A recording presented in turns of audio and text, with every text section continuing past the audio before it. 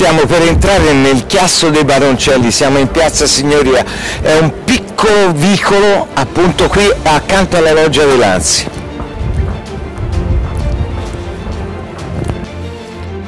Siamo a parlare qui nel Chiasso Baroncelli di una storia, una storia triste se si vuole, perché tratta appunto di un personaggio che si chiamava Grembiulaccio.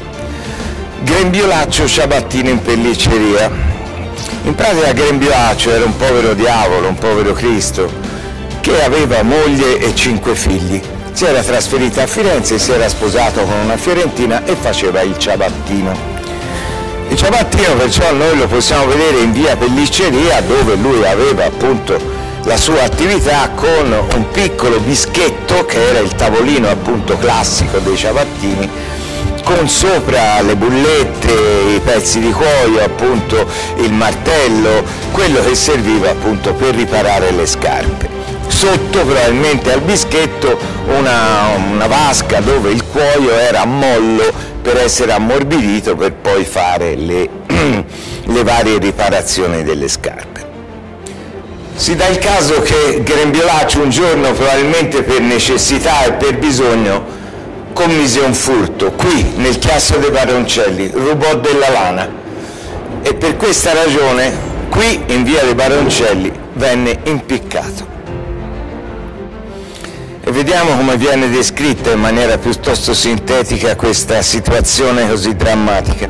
Lunedì a 17 maggio 1646 fu impiccato Stefano, milanese, calzolaio in pellicceria detto Grembiulaccio, venuto ad abitare in Firenze nell'età puerile, dove, avendo preso moglie, aveva cinque figlioli. Furono ritte le forche in piazza del Granduca di rimpetta al chiasso di Serbi Vigliano, che sarebbe il chiasso Baroncelli come si chiamava prima. Dissesi per aver rubato lana nei magazzini di detto luogo.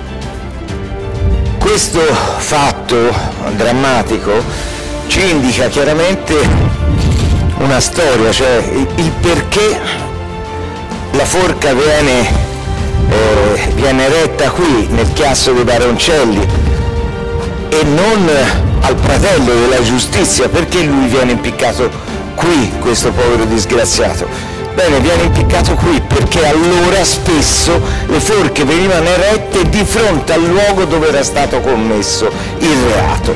Questo perché tutti potessero vedere e perché venissero dissuasi dal commettere ancora una volta o altri reati.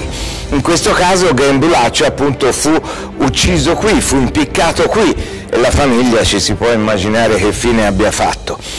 C'è da chiedersi soltanto una cosa, ma se ancora oggi ci fosse l'uso di impiccare chiunque commette una ruberia, anche di piccola entità come questa della lana, beh, saremmo in grado di circolare per le strade italiane? Io temo di no.